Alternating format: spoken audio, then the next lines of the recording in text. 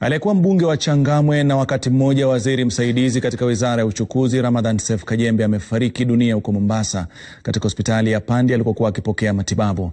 Familia ya marehemu imethibitisha kifo cha mwanasiasa huyo mkongwe na kudokeza kuwa atazikwa mapema hapo kesho nyumbani kwake katika maziara ya familia huko Mikindani. Familia na marafiki wakiwemo wanasiasa waliungana na jamii kuomboleza kifo cha mwenda zake ambaye amehudumu kama mwenyekiti wa shirika la feri nchini kwa kipindi cha miaka mitano.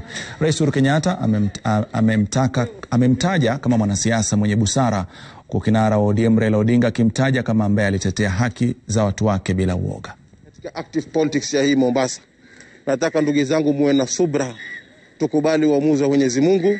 Kwa hivyo sote tu, tupeaneni pole na inshallah Mwenyezi Mungu akipenda, kesho tutamweka pahali pema peponi.